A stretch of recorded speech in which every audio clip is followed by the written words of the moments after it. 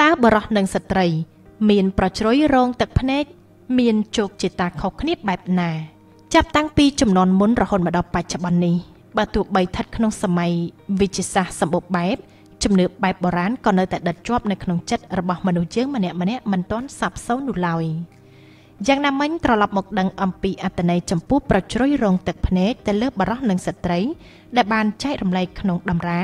មើលប្រជ្រុយរបស់បុរាណឯនោះវិញប្រកាសជាបងប្អូនចង់ដឹងណាស់ថាតើបរោះនិងស្ត្រីដែលមានប្រជ្រុយនៅត្រង់ចំណុចផ្នែកគល់ភ្នែកខាងក្រោមប្រជ្រុយរងទឹកភ្នែកមានអត្ថន័យបែបណាពាក់ព័ន្ធទៅនឹងប្រជ្រុយនេះទៅលើបរោះនិងស្ត្រី បើតាមការស្រាវជ្រាវស្វែងរកក្នុងតម្រាមើលប្រជ្រុយរបស់បុរាណមួយ បានចែងច្បាស់នៅក្នុងអត្តន័យប្រជ្រុយខាងលើនេះ ដែលបានកើតឡើងទៅលើបរោះឬក៏ស្ត្រី បានទូទិថា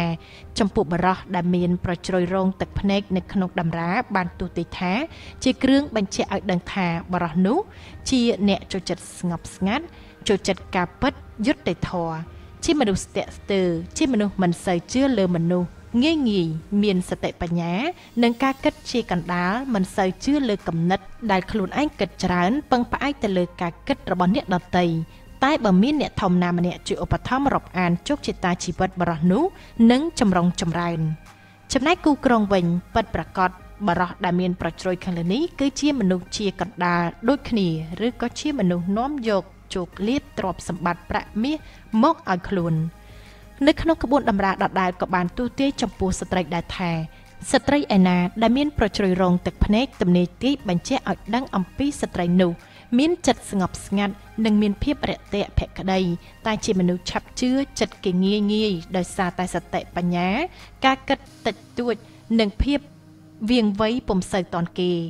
មនុស្សស្រីដែលមានប្រជ្រុយរងទឹកភ្នែកទំនេរក្នុងតម្រាទាយបន្តថា ជាមនុស្សមានបនវាសនាតិចតួច បើសិនជាប្រកបមុខរបររកស៊ីមិនសូវទាន់មិត្តភ័ក្តិដែរចំណែកការគ្រប់គ្រងជីវិតក៏មិនសូវមានការទៀងទាត់ផងដែរជីវិតមិនសូវមានសេចក្តីសុខជួបទុកព្រួយមកតាមជាមួយជានិច្ច